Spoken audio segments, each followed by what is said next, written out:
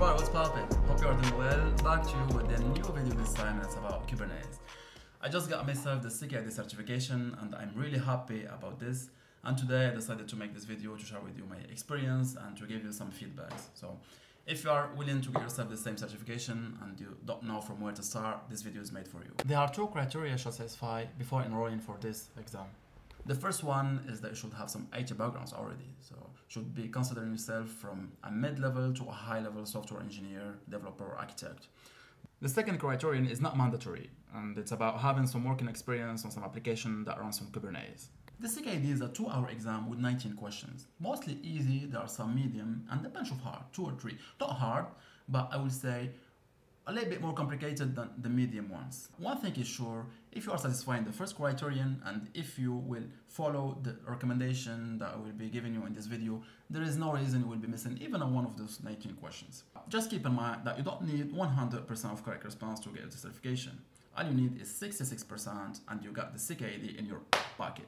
Three good news about the CKAD certification. The first one is that it's an open book, which means that you have access to all documentations on the official website no personal notes, no navigation on other website.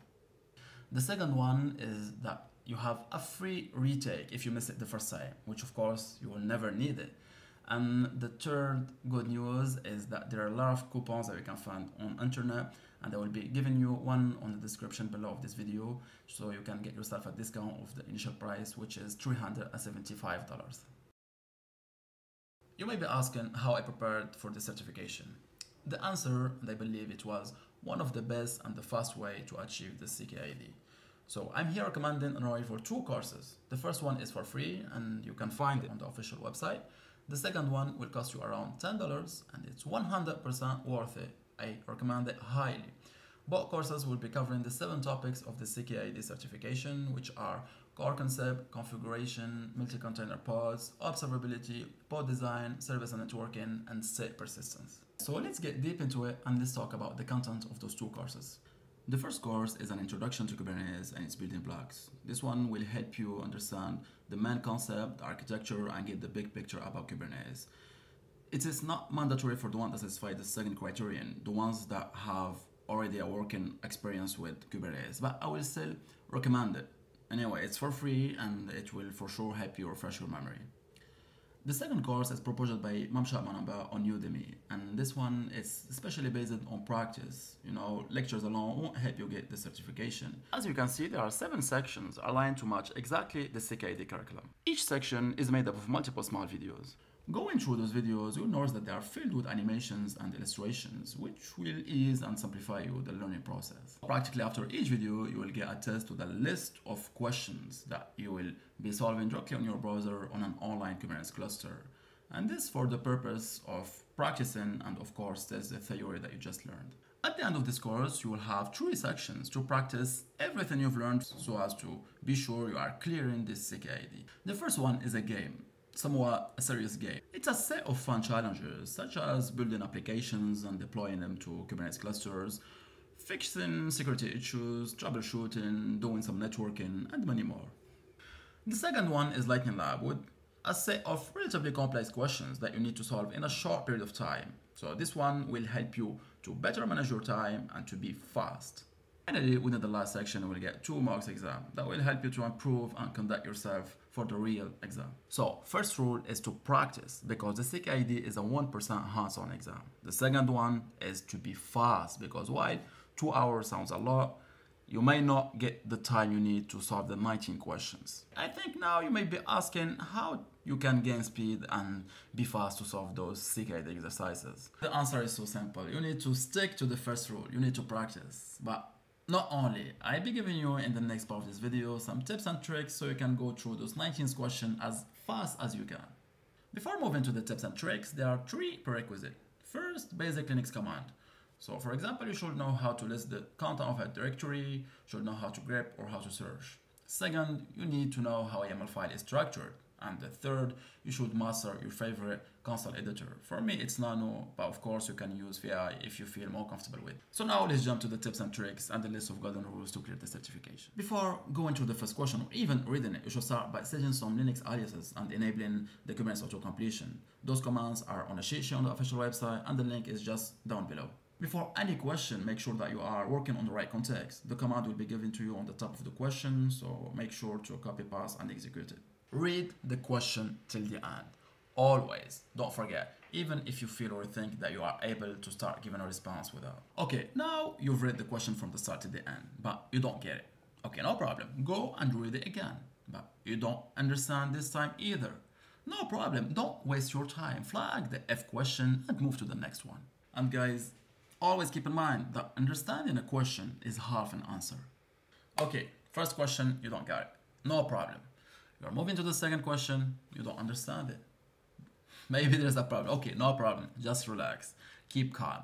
You are moving to the third question and you think this time you have the response. So guys, there's a strategy I need you to follow for answering and solving all the questions. You're gonna start by making your first try. You think you've solved it, yes or no? If it's no, you're gonna make another try. You've solved it, yes or no? If it's no, you're gonna flag the question. But if you solve the question on the first or the second try, this is perfect. You're gonna test your answer and then you're gonna directly move to the next question you understand. So remember, two tries no more and always test your solution. Almost all the time you will be using the describe command so as to make sure everything is working as expected. Next step is to copy paste. Always copy paste, especially the things that are given to you on the questions like variable or object names. For some question, you will need to add a specific section to YAML file. So again, copy paste it from the official documentation, but always pay attention to the indentation because it depends on the type of the object you're copying from to the object you're copying to. So if you're copying from a pod to a deployment, it's not the same indentation. Pay attention. How to search effectively within the official documentation. You can use the link on the description to import this ready-to-use bookmark to your Google Chrome, which will list you the only documentations you need for the CKAD exam. So let's suppose that for a specific question, you need to add the volume mount section to a YAML file. So you're gonna go to the official documentation, volume page, and you're gonna control F or command F, and you're gonna look for volume mount with columns. So using columns will make you filter and go straight forward to the YAML examples. Practically for every question on this exam, you will be creating or editing a YAML file. And there are two ways to achieve this. So doing things manually or using and mastering kubectl commands like kubectl apply, edit, create, and expose, which will save you a lot of time. There is a very powerful command, which is kubectl explain. So you should learn to know how to use it. Last advice, guys, about a problem that I got, and I think everybody got it, but a certain level, of course. It's about procrastination. So how to dodge procrastination. I will be suggesting to use your Google or Apple Calendar so you can fix some weekly or even daily objectives, some milestones. And I will also suggest to fix a day when you think you will be able to pass the exam. While approaching this day, if you start thinking that you're not making it, you can change it till 24 hours before and it's for free. Now we're gonna discover the must-do tasks just before the exam day. First thing is to go through all your short notes. Remember, always take notes while preparing for the certification, and especially take notes of kubectl commands. Once you paid for the certification, you will be given two mock exams for free on the official website. A piece of advice, one or two days before going through the real exam, make sure you are completing successfully those mock exams. The exam day, make sure that your desk is empty and cleared. Nothing but your computer, an extra monitor if you need it, and a glass of water of course, but a transparent glass of water. You will be sharing your screen, your mic, and your camera. All applications should be closed except Chrome, of course. Last thing but not least, make sure you have in your ID ready. Alright, this was it guys. I hope that was clear enough and I shed some light on how to clear this certification. Anyway, if you have any question, feel free to ask me in the comment section. I will be happy to answer it. Keep in mind there are three ingredients to achieve this certification. You need to have some time, organization, and of course, procrastination. I mean, dedication. So I wish you all the very best to clear the certification and always remember, it's easy pie.